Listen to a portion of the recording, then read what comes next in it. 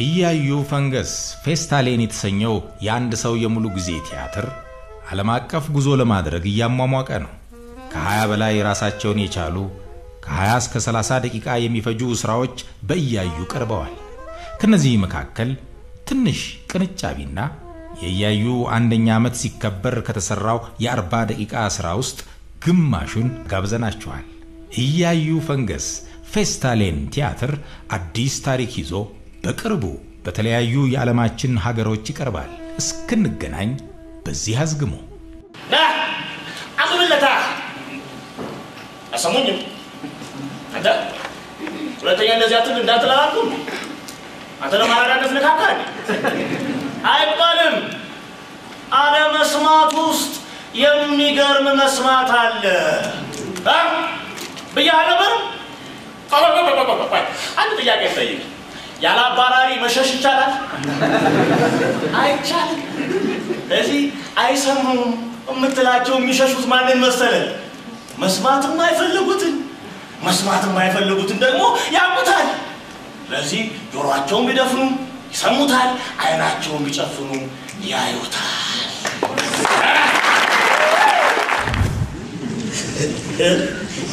ውይ ዘውዱ፣ ወይኔ ብዬ ብዬ በቃል የያዝኩት ጸሎት ይጥፋል። ሚስትየው ምን ቢሉ ጥሩ ነው? ያው እንደፈራሁት ያ ሌባ ዲያቆን የሰረቁት። ሮስ እርሶ ማን ያዙ አሎት አሉ። ምን ሆነሻል ውዴ? በቃሌ እኮ ነው ያልኩት። በቃ በምንም ይሁን በምን አያዙ አልኮት አያዙ። እሺ ውዴ እውነትሽን ነው። ሁለተኛ አልይዝም አሉ ይሰማል አይደል አለቃ? መምሬና ሚስታቸው እውነታቸውን ነው። ሌባውን መያዝ ሲያቅትህ ያለ ብቸኛ አማራጭ ንብረት አለመያዝ።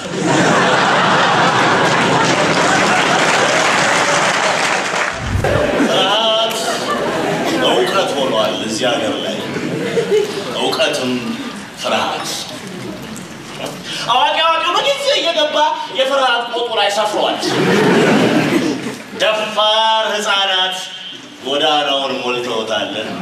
ደፋር ህፃናት ፈሪ አዋቂዎቹን እያስተዳደሩ እዚህ ሀገር ላይ ድፍረትን የሚያክል የሚያዋጣ ቢዝነስ ዋናው ድፍረት። መዲናይቱ አዲስ አበባ ፎቅ ራስ ሆናለች። በፎቁ ባለቤቶች ልክ ነው የምታስብልን።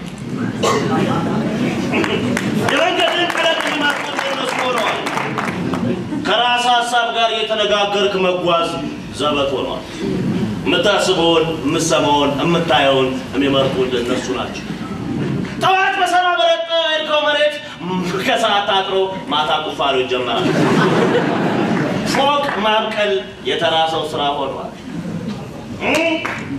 ፎቅ እንደ ሸምበቆ በየዕለቱ ተመዞልህ ያድራል። እንደ ከካም በግ ፎቅ እየታከክ ታልፋለህ። እንደ ደመኛ ከሚያይህ ፎቅ ጋር ትከሻ ለትከሻ እየተጋፋ ትሄዳለህ። ደግሞ አንዳንዶቹ ፎቆች ዲዛይን የባለቤቶቹን ማንነትና ምንነት የሚተነትን ይመስላል። ግራ የገባው ዲዛይን ታያለህ። በእርግጠኝነት እሱን ባለቤትየውን ስትል ብትከታተለው ግራ እንደገባው ፓርኪንጉን ሲኔማ ቤት ሲያደርግ ፋርማሲውን ቡና ቤት ሲያደርግ ታገኘዋለህ።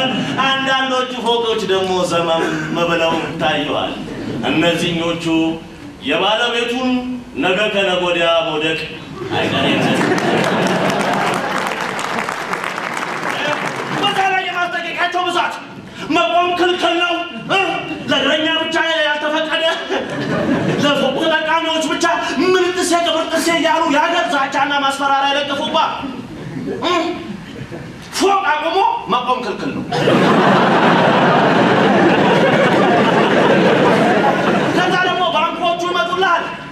ያበደሩትን እጅ በእጅ ለመቀበል ለመቀበል ስር የሌለው ፎቅ ላይ ቅርንጫፍ ይከፍታል።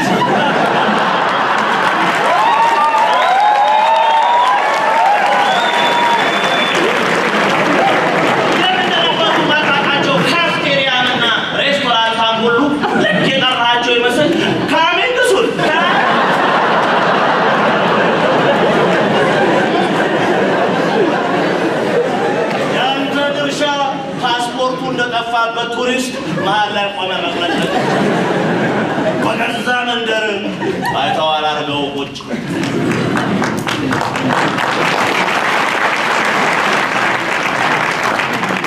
አገሬ ዳገትሽን በዳዴ ልለፈው። ሁሉም የግል ሆኗል። ምኑን ልደገፈው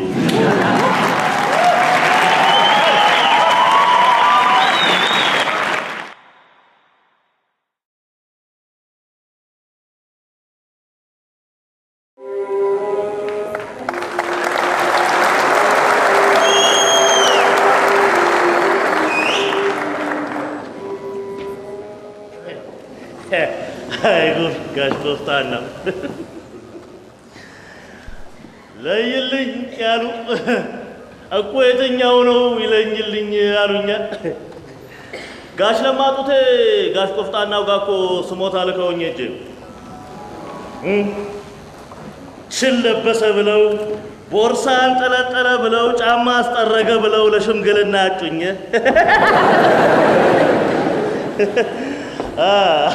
እንደተለመደው በቦርቃቃው ህዝቤ ላይ እየሳቅሁ ደርሼላቸው መጣሁ። እችን ለበሰ ብለው በአንድ ጀንበር ከታሚነት ወደ አሚነት ተሸጋገሩ።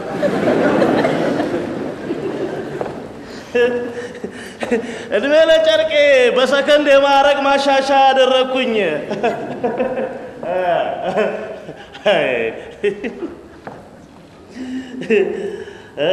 ከሁከት ፈጣሪነት ወደ ሁከት አስወጋጅነት ከፋል። ለነገሩ የዘንድሮ ልብስ ለሁለቱም ያገለግላል። በአንድ መለያ መስረቅም መያዝም ትችላለህ። የሚግ ወንድም ሌባው በቀደም ማታ የሰረቀውን ያካፈላቸው ፖሊሶች ጠዋት ሌባ ብለው ቢይዙት፣ አረ ምን ነው ምን ነው ሳጅን ልብስህን እንኳን ብትቀይረው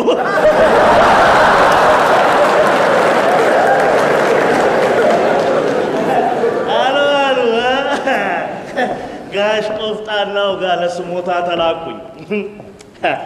ጋሽ ቆፍጣናው ደረጃ አንድ ሙጢ እኮ ናቸው። ቆይ ኧረ እንደው ምን ብሎ ሰደበኝ አለ አሉ። ሰኞ ለታ በግ ትናንትና ማታ ደግሞ ቀበሮ አለኝ ብዬ ሳልጨርስ በሳቃቸው አቋረጡኝ። እንደው እንደው ቆፍጣናው ይሙት በል እንደዚህ ብሎ ለአንተ ከሰሰኝ ዘውድዬ ትሙት ስላቸው በል እንግዲህ እንደምትልልኝ እኔም ለመስደብ እንዲመቸኝ እሱም ለስሞታው እንዲመቸው ማንነቱን ይለይልኝ። በግ ነው ወይስ ቀበሮ? ሰው እንዴት በግም ቀበሮም ተባልኩ ብሎ ክስ ያቀርባል? ይሁን እያዩ አሉ ጋሽ ቆፍጣን ነው። አንዱ ማታ ማታ ስገባ ጅቦች አስቸገሩኝ፣ እባክዎ የሚታሰር ነገር ካለ ብሎ ጠንቋይ ጋር ይሄዳል።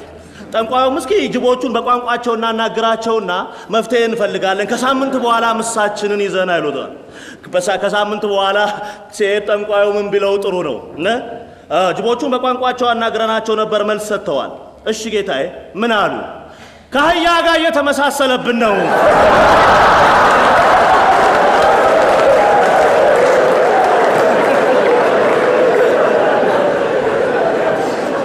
ጌታው ጅቦቹን ከመክሰስ በፊት የአህያ መልህን ተው። ሰው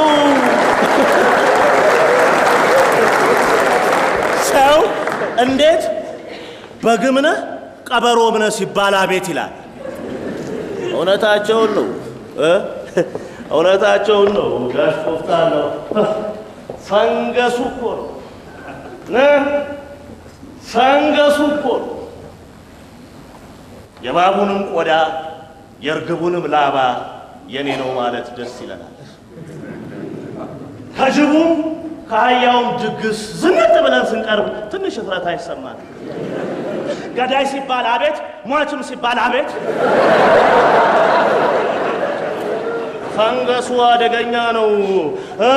አጥሩን አፈራርሶታል፣ ድንበሩን አፈራርሶታል። ሰው ጠቡም፣ እርቁም፣ ለቅሶውም፣ ዘፈኑም አላምርብን ያለው ለዚህ ሰው ራሱ ደውሎ ራሱ ሊያነሳ ይፈልጋል።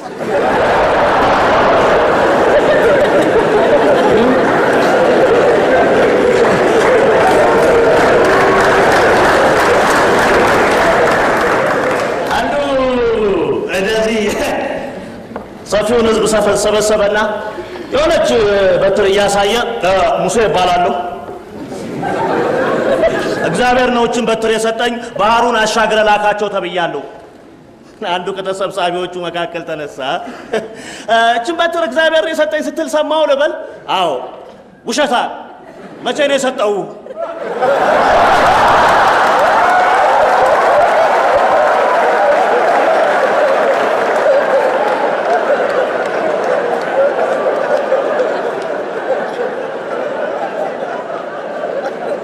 ውክልና እዚህ ድረስ ሆኗል።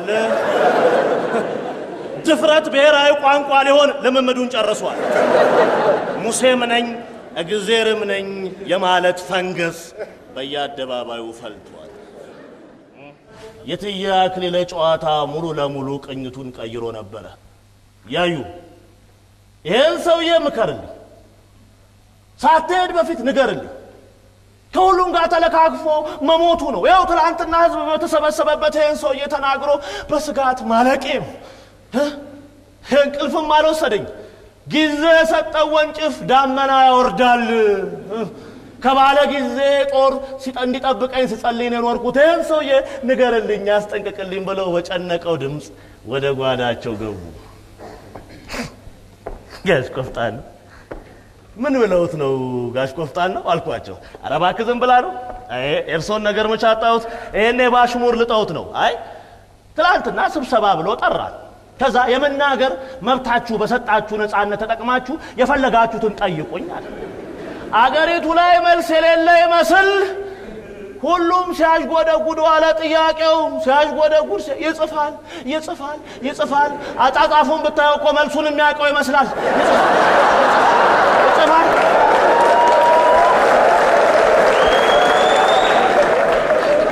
በኋላ ሰዓቱ ደረሰልህና ይዘባርቅ ጀመረ።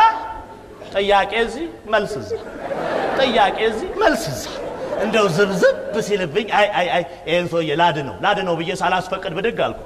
አይ አቶ ሊቀመንበር አልኩት። አቤት አለ። "እ፣ ቅድም አንተ የመናገር መብታችንን ተጠቅመን እንድንናገር እድል ሰጥተን ጥያቄ ጠየቅን አደል አልኩት። አዎ አለ። ልክ መልስ የመለሰ ይመስል ላቡን እየጠረገ ይኸውልህ እስቲ ደግሞ እኛ ዝም የማለት መብት እንስጥና ዝም በል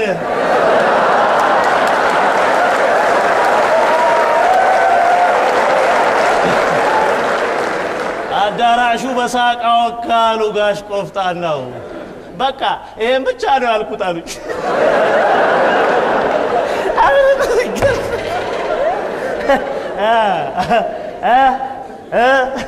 እውነታቸውን ነው። ብልህ የመናገር ብቻ ሳይሆን ዝም የማለት እድልም ሲሰጠው ሊጠቀምበት ይገባል። ጋሽ ቆፍጣናውስ? ጋሽ ቆፍጣናውስ እንዲህ ተረቡንም አሽሙሩንም ተክነውታል።? ለቅሶውን በሳቅ እያለሰለሱ ይኖሩታል። ስንጥር ለወረወረባቸው ጦር እየመለሱ ይመክቱታል። የኔንስ ምን ልበለው? የኔንስ? ምን ስም ልስጠው? እችን ለበስክ ብሎ ለዳኝነት መመረጥ ዋጋው ስንት ነው? ዘውድዬ ትሙት እየሸሹ መታገል አያዝናናኝም። ሰበብ አምላኬ አይደለሁም። ከራስ ጋር ድለላም ተመችቶኝ አያውቅም። መልከ ጥፉነቴን በርካሿ መስታወቴ ማሳበብ አልፈልግም። የፊቴን አመዳምነት በተመልካቹ አይን ማሳበብ አልፈልግም። ዘውድዬ እኔን ሳኝ እ፣ ሰው ለምን በጨርቅ ያምናል የሚል ተራ ሙግት ከዓለም ጋር መግጠም አልፈልግም። በነበረኝ ሰዓት ተሻምቼ አክብሬ የገዛሁትን ጨርቅ በሌለኝ ጊዜ የማራከስ ቅሽምና ውስጥ አልገባም። በ priority ግን አምናለሁ። priority priority የእውቀት ሌላ ትርጉምና ፍቺ የለውም። order of importance የእውቀት የመጨረሻው ጫፍ prioritization፣ ፍላጎቶችህን ማበላለጥ፣ ጥያቄዎችህን ቅደም ተከተል ማስያዝ፣ በምትፈልገውና በማትፈልገው በሚያስፈልግ ነገር መካከል ድንበር የማስመር ጥበብ ነው prioritization። አለዛ መስጠትም መቀበልም ትርጉም አልባ ይሆናል። ሳይጠሩት ሄዶ ሳይጠሩት መጣ፣ እንኳን የሚያኖር የሚገላጣ። ብዬው ዛሬ ደረሰ፣ የኔስ እግዚአብሔር ከሰይጣን ባሰ። ለዝች! ለዝች! አሉ ሽማግሌው።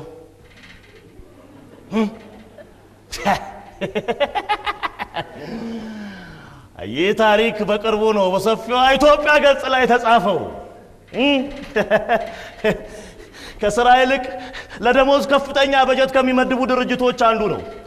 ያው የፈረደበት የበጀት መዝጊያ ሲመጣ እንደተለመደው ኮንፈረንስ አለና ከቀበሌ፣ ከወረዳ፣ ከዞን፣ ከክልል፣ ከፌዴራል እያለ ደሞዝ በሚያስንቅ ውሎ አበል ለሶስት ቀን ህዝቡን ሰበሰበ። የሴት ልጅ ግርዛት ጉዳቶች የሚል ባነር በእንግሊዘኛም በአማርኛም ተለጠፈ። donor ኦች፣ ባለስልጣናት ተሰብስበው ለሶስት ቀናት ሲበላ ሲጠጣ ተከረመ። በስተመጨረሻ የጉባኤው መዝጊያ ጊዜ reflection አሉና ህዝቡን አስተያየት እንዲሰጥ ጠየቁት። ሁሉም እየተነሳ የጉባኤው ቅድስና እየተናገረ ተቀመጠ። ነገሩ የመጣው በስተመጨረሻ ነው። ከአገር ሽማግሌዎች ለአንዱ ማይክራፎን ተሰጠ። በምርቃት እንዲዘጉ ጉባኤውን ብሽቀትና ንቀት በተቀላቀለበት አንደበት በእውነት ከአዲስ አበባ ድረስ ይህን ሁሉ መኪና እያንጋጉ ቃላቱ ተናነቋቸው።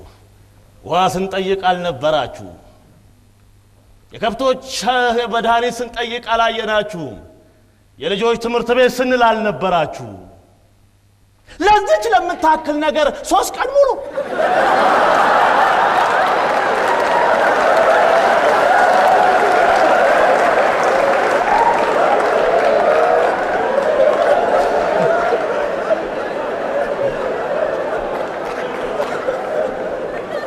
ስለዚህች ለማውራት ሶስት ቀን ሙሉ። እኛ አባት ስለ ግርዛት አናውራ ወይም ማውራት የለብንም አላሉ። የሚወራበትን ጊዜ ነው የጠየቁት። ስለ priority ነው ያወሩት። መቼ ከየት ቀጥሎ እናውራ ነው ያሉት። period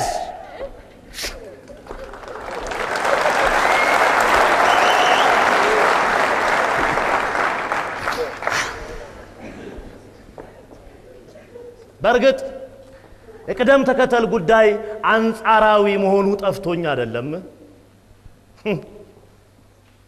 አንጻራዊነቱን ሁልጊዜ እንደ ምክንያት ማቅረብ ግን የፈሪ በር ይሆናል። እውነት ነው። የኔ አንደኛ አንተ ጋር መጨረሻ ይሆናል። እኔ የጎደለብኝ አንተ ሞልቶልህ ሊሆን ይችላል። ይህንን ግን ሁል ጊዜ እንደ ምክንያት ማቅረብ የፈሪ ጋሻ ማውረድ ነው። common ground common ground የሚባል ትልቅ ሀቅ አለ። አንተ እኔ ለመባባል common ground ያስፈልገናል። ልዩነትን ለማጥፋት ሳይሆን ከነ ልዩነታችን አብረን ለመኖር ገዢ መሬት ያስፈልገናል። ተለያይተናልም ለመባባል እሱ ላይ ሆነን መሆን አለበት። ይህንን ሀቅ መካድ ለማንም አልተፈቀደም። ሰው ሆነን የተፈጠርን ቀን ከሀቁ ጋር ተሳስረናል።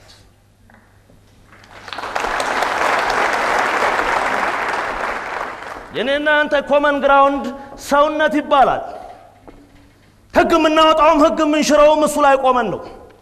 ክፋት፣ ደግነት፣ ትክክል፣ ስተት፣ ተበዳይ፣ በዳይ የምንባባለውም እሱ ላይ ቆመን ወደድንም ጠላን፣ ከሳንም ወፈርንም ሁላችንም ሰው በሚባል ቁና እኩል ተሰፍረናል። መበላለጡ የመጣው ከዚያ በኋላ ስለዚህ እሱ ላይ ቆመን እናውራ፣ እሱ ላይ ቆመን እናውራ። በየትኛውም የሰው ገበያ መነጽር ከአይን በላይ ዋጋ ኖሮት አያውቅም።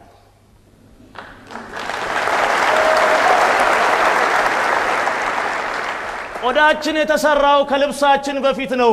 ጭንቅላት ኮፍያን ይበልጠዋል። ጫማ የተሰራው ከእግር በኋላ ነው።? ታዲያ ይሄ ተራ የተራ ተራ የተራ ተራ ተራ ቅደም ተከተል እውነት ስለምን አጣላል? እኮ እንዴት ከአይናችን መነጽራችን አስጨነቀን? እኮ በምን አይን ጨርቃችን ከቆዳችን በልጦ ታየ? እኔ እያዩ እኔ እያዩ ማንንም አይን አልለመንኩም። ለሰከንድም ቢሆን መነጽራችሁን አውልቃችሁ ተመልከቱኝ ነው ያልኩት። መነጽር እንጂ ውበት ቆሽሾ አያውቅም። የዚህን ሀገር ውበት ያረገፈው አይን አይደለም መነጽር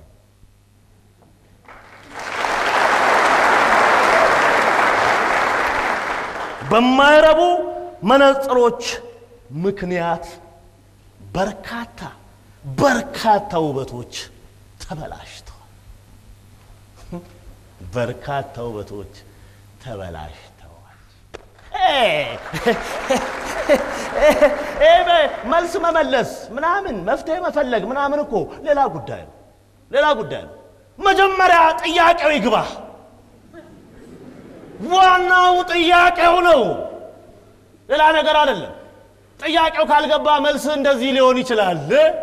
አንዷ መምህርት አንዱን ተማሪ ተማሪዎች ፊት ያሳጣች መስሎት መስሏት የማስመሪያዋን ጫፍ ይዛ በአንደኛው ጫፍ ወደ ልጁ ወደ ተማሪው እየጠቆመች ተማሪዎች በማስመሪያው ጫፍ ላይ የሚታየው ደደብ ነው አይደለም? ተማሪዎቹ በሙሉ በአንድ ድምፅ በየትኛው ጫፍ?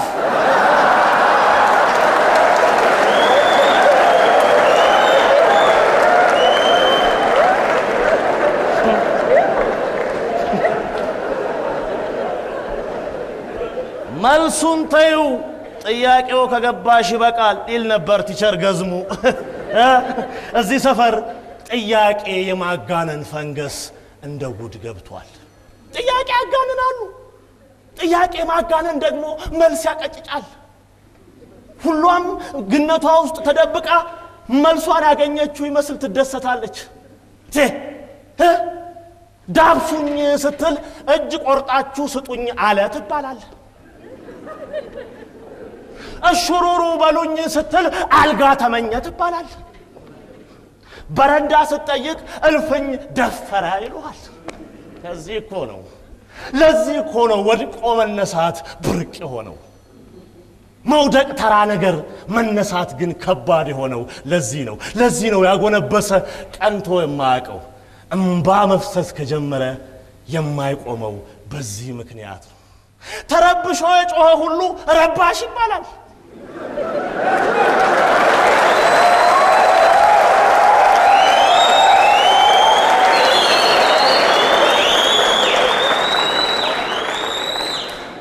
ከወደክባት ደቂቃ ጀምሮ እንደ ጠጠር ትቆጠራለህ። ግራ ገብቶት የቆመ ሁሉ ልክ እንደ ባንዳ ሐውልት ይቆጠራል። ወጪ ወራጁ ይሸናበታል። ሳት ብሎት አቅጣጫ የጠየቀው ሁሉ መንገድ የሌለው ይባላል።? ሁሉም ሁሉም በየበሩ ላይ ለመሸበት ማደሪያ የለም የሚል ማሳሰቢያ ለጥፏል።? ላለማየት የማለ ብዙ ነው፣ ላለመስማት የፈረመ ብዙ ነው።? ጩኸትን በኤርፎናቸው ሊያፍኑት ይፈልጋሉ። ያንተን ማቀርቀር ሞባይሉ ላይ አቀርቅሮችን ላይ ይልሃል። መነጋገር ስተት ሆኗል። ምነው ጠፋህ፣ ምነው ከሳህ፣ ምነው ጠቆርክ መባባል ነውር ሆኗል። ውርጭና እ, ውሃ ጥም ከሰነጣጠቀው ከንፈርና ፊትህ ይልቅ የሞባይል መሰንጠቅ ብዙ ጠያቂ አለው።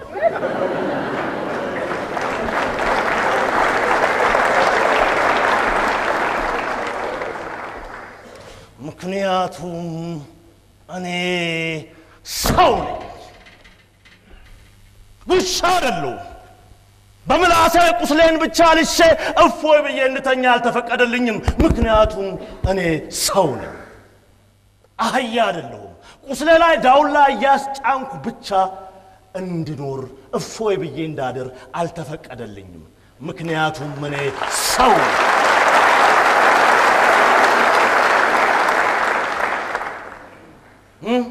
ቁስል የሚወጣው ልቤ ላይ ነው። ከቁስሌ ይልቅ ጠባሳዬ ያመኛል።